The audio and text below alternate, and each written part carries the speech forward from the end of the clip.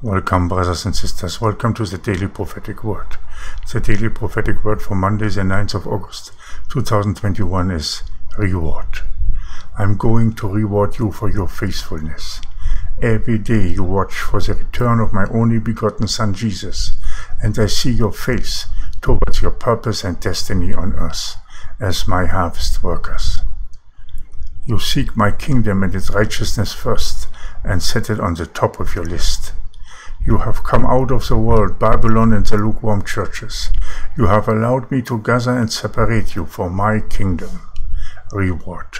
I am rewarding you now with a new life, in a new place, New Zion.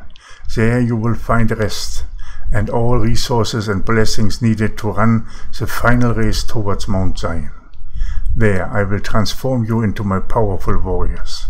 You made sure that nobody stole your crown, and you have not given into you, and you have not given in to your wicked ruler or the temptations of the enemy. I am proud of you, my children. I see you walking the narrow and righteous path towards my holy mountain. Reward. This reward is not attainable for the ones who made compromises with the world, or who have taken the toxin from the enemy.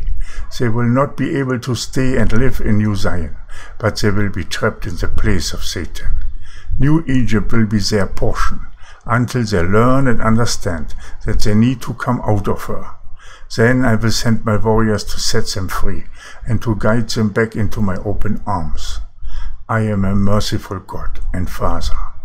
I cry over every soul that lost its way. And this was a daily prophetic word given by the Holy Spirit for Monday, the 9th of August 2021. Brothers and sisters, a reward is coming. Behold, I come quickly, and my reward is with me, to give every man according as his work shall be. Revelation 22 12. Brothers and sisters, be blessed. In the name of the Father, the Son, and the Holy Spirit. Amen and Amen. Maranatha.